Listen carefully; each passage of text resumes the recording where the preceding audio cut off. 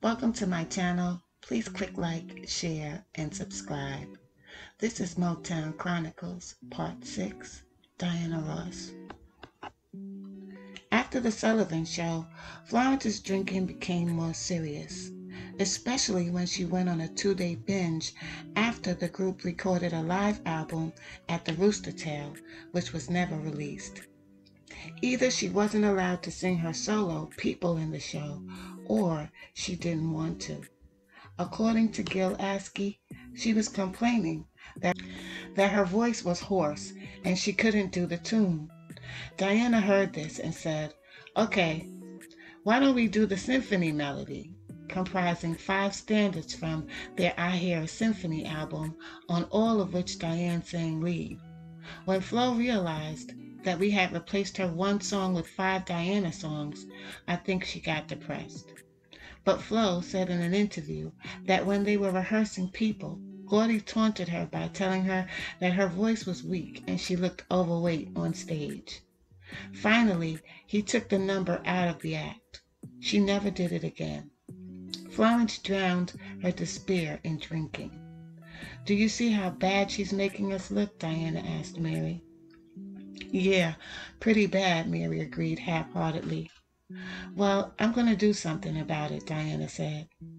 Florence was beginning to lose hope that the group would ever be the same old gang again, or at least as she had perceived it. She realized that Diana was not only becoming a major star, but also had Berry under her thumb. Why couldn't I have been born skinny, ugly, and big eyed? She once jealously asked another Motown artist when she was in a drunken stupor. The more Florence drank, the more weight she gained, and the more uncomfortable her tight, form fitting stage wardrobe looked on her. Berry could be cruel when he wanted to be. You know something, Flo? He told her one day. For a fat girl, you don't sweat much. Diana was an emaciated size 3. Mary, a reasonable size 7, and by this time Florence was a size 12 and growing fast. One night, while out with Diana and his sister Gwen, Berry noticed Flo in the 20 Grand nightclub nursing a martini. He, he went over to her and told her that he and Diana had discussed the matter and had come to a conclusion. We think you're fat, Flo. Oh, you think so, huh? she said calmly. Then she threw her drink in his face, spun around on uneasy footing, and walked away laughing loudly. As Florence drank and Mary brooded and both complained, Diana made plans. She wrote down her goals very specifically in lists and determined when she would achieve each one. Still suffering from insomnia, she slept very little. During the evening hours, she and Berry would often be in the studio as she recorded and then studied the techniques of engineers and technicians who mixed and mastered her vocals. Diana was interested in everything that had to do with show business. She would shop for hours trying to find just the right outfit that would make her distinctive and then model it for Berry. If he liked it, she would wear it the next day and surprise the girls. She was obsessed with entertainment and how to be the best at it. So bringing a temporary new girl into the Supremes didn't affect her. As long as she was still singing lead, what difference did it make? At the end of 1966, Berry asked Diana what she wanted to do with her future. She was uncertain and only knew that she was unhappy with the way things were working out in the group. Florence's discontent had obviously become a problem, and she seemed close either to getting fired or to quitting. When Ballard visited her friend Gladys Horton of the Marvelettes backstage at the Fox Theater in Detroit, she complained about how miserable she was. I'm an alcoholic behind all of this, she told me, Horton recalled. She said she was afraid of flying I had to get stoned on those planes, she said. Then she told me she was ready to quit. I was shocked. I thought she had it so good. When Diana heard about Florence's backstage confession, she turned livid. She didn't like the idea of Florence being so frank about her problems and about the Supreme's private business with a member of one of the competing Motown groups. Berry told Diana that she could quit the Supremes if she wanted to, and that if this was her decision, he would support her in her solo career. However, he recommended that she continue with the group, but with Barbara Randolph, the girl he had seen perform at the El San Juan Hotel in Puerto Rico in January 1966, taking Florence's place. Marlene Barrow had decided that she didn't want to be a full-time Supreme. Diana felt ambivalent. A solo career was certainly what she had in mind, but leaving the act was a gamble she wasn't sure she was ready to take. Replacing Florence certainly seemed logical, but she feared she would be blamed for the move by a gossiping public and press. Also, say Ross inmates, she was suspicious of Barbara Randolph. Simply because Randolph was so beautiful and Gordy was obviously interested in her if he kept her in mind all of this time. She wanted to know who this Randolph woman really was to Berry, said one of Diana's former associates. And Berry assured her that he was not having an affair with the singer. He really wasn't. He just thought she would be perfect to replace Flo. She was extremely talented. The more he talked about her, the more suspicious Diana became. Berry said there were problems and dissension in the group.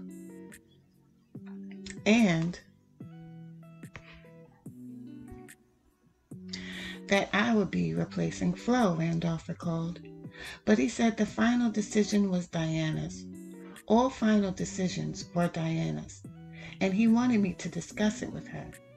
I had mixed emotions because I knew that she was the queen of Motown.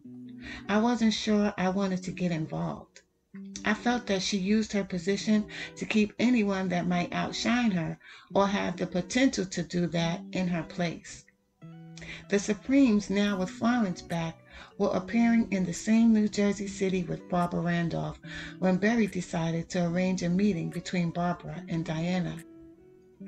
He took me backstage, and I was very excited and nervous, Barbara recalled. Berry knocked on the dressing room door and opened it. Diane, I got Barbara Randolph here, he said very pleasantly. Remember her from San Juan? Now would be the time to talk. I don't want to talk to her. I told you that, Diana screamed at him. Berry, embarrassed, quickly closed the, the door. He turned and looked at Barbara sheepishly and shrugged his shoulders. She was not willing to even speak to me, Barbara said. I knew then that I wasn't going to be a Supreme. It never was mentioned again. It seemed that Diana had made her decision. She would strike out on her own. The last couple of records had not really done very well. My World is Empty Without You sold barely 500,000 copies. Love is Like an Itching in My Heart had done worse, a little over 368,000. But then they rebounded with You Can't Hurry Love, a huge hit that sold over a million copies, and the album The Supremes A Go Go, which became the girls' first number one album, replacing the Beatles' Revolver on the charts. The time was right to break up the act while it was hot. Gordy had someone in his publicity department feed an item to columnist Earl Wilson about all of the movie offers Diana had been getting, perhaps hoping she would get a few. She didn't. Still, the group's schedule for 1966 was set with only tentative dates. An album titled The Supreme Sing Holland Dozier and Holland was completed. Conceived as a tribute to the guys who had written and produced all of the group's major records. A single, You Keep Me Hanging On, was planned as the last Supremes record. Mary and Florence had no idea that the group was about to break up. Their future was not a, cons- a consideration at this point. The announcement of Diana's departure would be made after the Supremes' next engagement at the Flamingo Hotel in Las Vegas, where they would open on September 29, 1966. But then Diana changed her mind. The group would continue, and with Florence, for the time being. The Vegas gig was an important high stakes engagement for which Florence had decided to clean up her act. Berry Gordy loved Las Vegas because his biggest weakness, besides women, was gambling.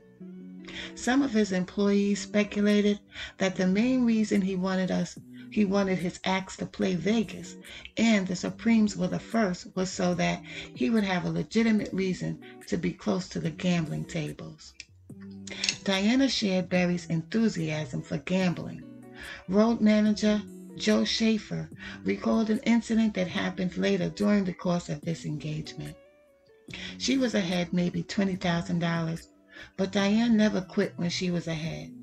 The more excited she got, the more she gambled. In a casino, Diana was like a kid in a toy store with a pocket full of change. She was playing five blackjack hands at $500 a hand, and she got busted on each hand and lost. Oh no, not all my money, I heard her shriek. After that happened, I had the inevitable task of having to tell her it was time for her to get ready to perform. I walked up to her, tapped her on the shoulder, and she ripped, whipped right around and threw a drink in my face. The afternoon they arrived in Vegas, Gordy took some heavy losses at the tables. And since she was trying to keep up with him, Diana found herself losing heavily as well. Before they knew what was happening, Berry and Diana were $25,000 in the hole. Afterwards, in Gordy's suite, the atmosphere was morbid as if there had been a death in the family. No one liked to see the king and queen lose. It was bad for company morale. There was a knock at the door. Diana answered, and it was Don Forster, one of their road managers, carrying a briefcase under his arm. Berry, who acted as if he didn't know what the contents were, suggested to Diana that she open the package. She did. Money, just look at all of this money, she squealed as everyone gathered around. Berry, a man who certainly knew how to infuse a little life into a party, grinned broadly. Apparently, he hadn't felt very lucky that morning when he woke up, and so he called back to Detroit to arrange for $100,000 in cash to be delivered to his suite in big notes. It arrived at the best possible moment. Let's go back and gamble, Diana begged Berry, which is precisely what they did. Florence and Mary felt uncomfortable with this display of wealth and and Diana's frivolous attitude. They still remembered what it had been like when there was no money being made, when they were the no hit supremes. Even though Berry would tell them to stop living in the past, it wasn't easy for them to shake the memory of being poor especially since Florence had brothers and sisters back in Detroit who were always on the phone with her begging for money, which she always sent to them. Florence doled out $10,000 on Christmas presents for her family that year, but she felt that that was money well spent. The girls had been rehearsing, rehearsing daily for the Vegas engagement. On the day of the opening, rehearsal was in the showroom. Berry Maurice King and road manager Cy MacArthur was sitting in the middle of the empty theater. The Supremes and the orchestra were running through the show. When they finished Queen of the House, Maurice King stood up. Okay, here there will be applause, applause, applause. Now, Diane, he said, pointing at her, it's your intro. Thank you, she began. Ladies and gentlemen, before we get, go into the next number, I'd like to introduce the girls. On the end is Berry stood up. You know what, Diane? I can't understand one goddamn word you're saying. Cy, can you understand her? Can you understand one goddamn word she's saying? Not really, Cy said with uncertainty. Diana looked hurt. Thank you, ladies and gentlemen, she began again, very deliberately. Now, before we go into the next, slow down, Berry commanded her. Enunciate, Maurice King suggested. Yeah, enunciate, Gordy repeated. Thank you, Diana began again. Ladies and gentlemen, before we begin the our number, God damn it, Diane, Berry shouted at her, approaching the stage. It's before we go into the next number. Get it right. What is the matter with you anyway? He turned to face Cy MacArthur. Cy, what is the matter with her anyway? Cy shrugged his shoulders. Tired, I guess.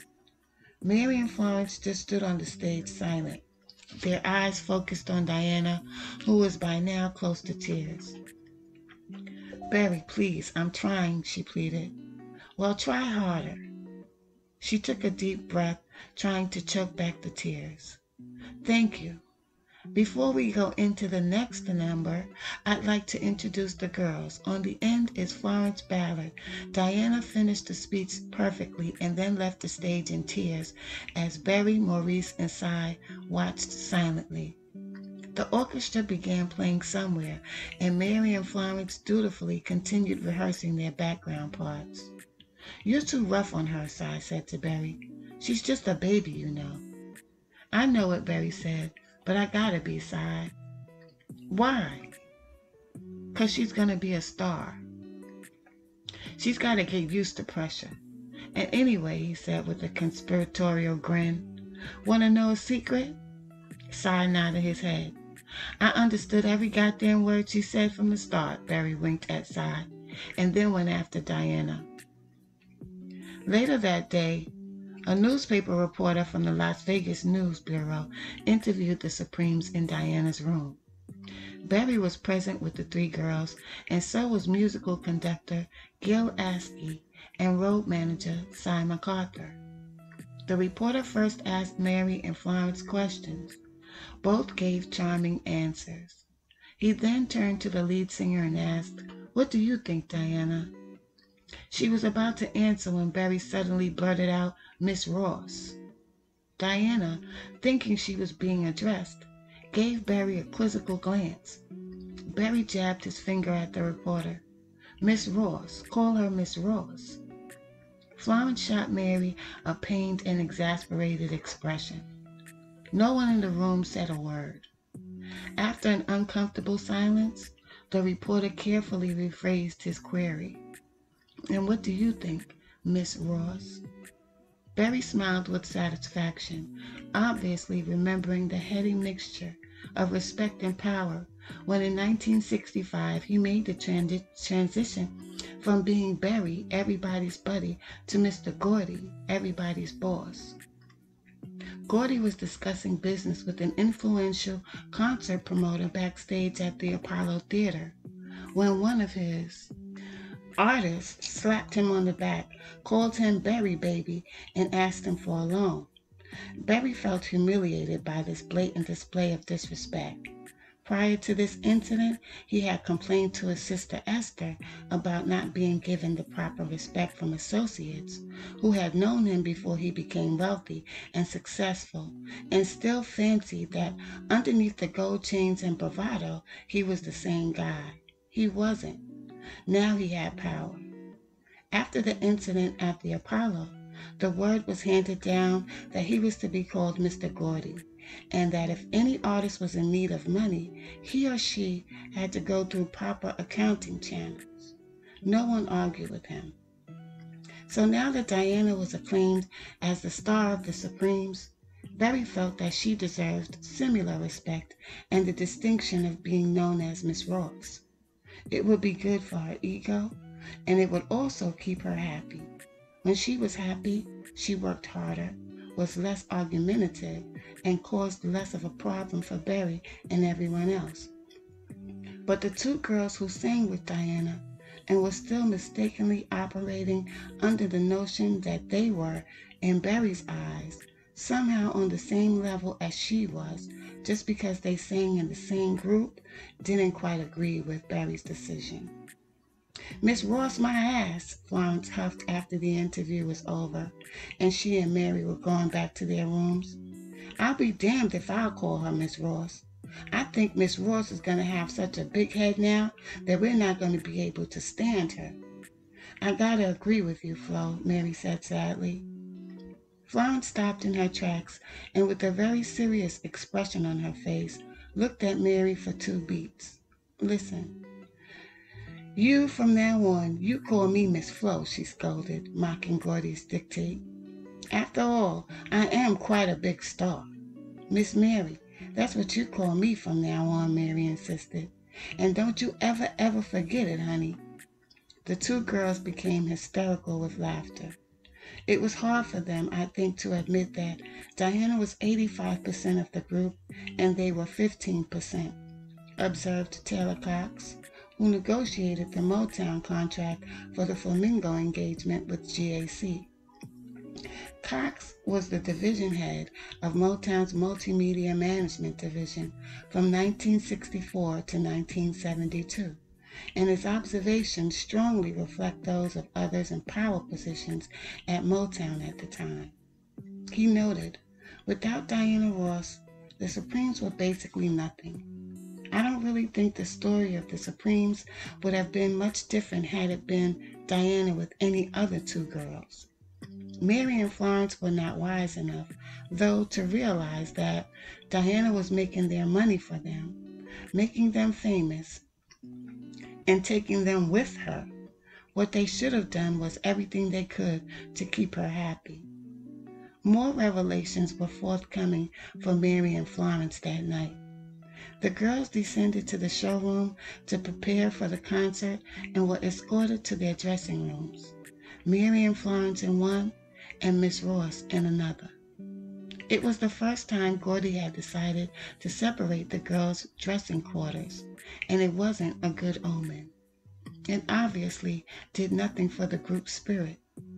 Opening night and the rest of the engagement was tense, especially when Gordy ordered fresh roses for Diana's dressing room every night and nothing for the girls.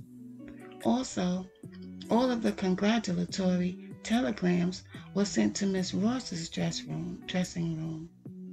Though Diana didn't have much to say about any of this special treatment, it was obvious that she enjoyed the attention. Berry was forcing Mary Florence and everyone else in the entourage to recognize her power and importance. How could Diana Ross help but allow herself to be spoiled by the man she loved?